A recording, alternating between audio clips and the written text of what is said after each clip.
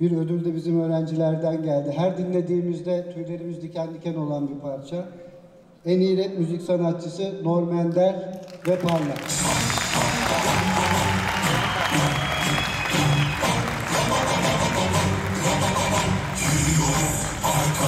100 sene sonra bile bu maaş hatırlanacak.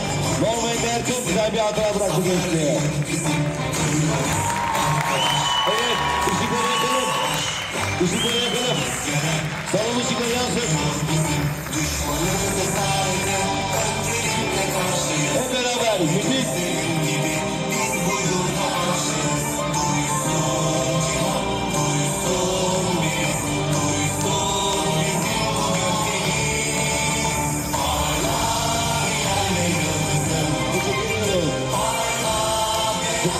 Söz Norman nerede? Yok.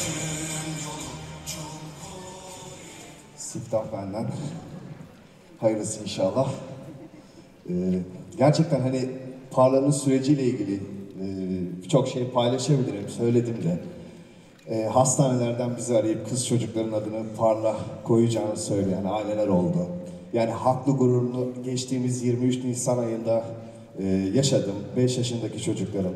Özellikle gelecek nesillerin e, yıkmakla değil de yapıcı olmakla gurur duyduğu bir e, cumhuriyet bırakmak istiyoruz. Hepimizin amacı bu. E, ben de müzisyenim. Buraya bir hediye bırakmak istedim. E, bestecinin hediyesi beste olur. Bunu yaptım tüm samimi duygularımla. Ama tabii ki de zor şartlar altında yaptık bunu.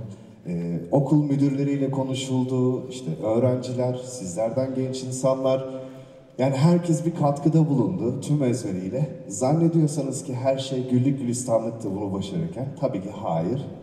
Ee, abi Tarkan yaptı, Fazıl Say yaptı, Kenan yaptı, senin kimi tutacak diyenler mi ararsınız? Faruk Sabancı dedi, evet işte. İnsan arkadaşını seçemiyor böyle durumlarda. Hani muhalefet en yakınından geliyor derler ya, gerçekten öyle. Bütün bunlara rağmen e, çıktık, yaptık. Onurumuzla, gururumuzla hep beraber söyledik. Cumhuriyetimize sahip çıktık. Beni yalnız bırakmadığınız için çok teşekkür ederim. Çok sağ olun.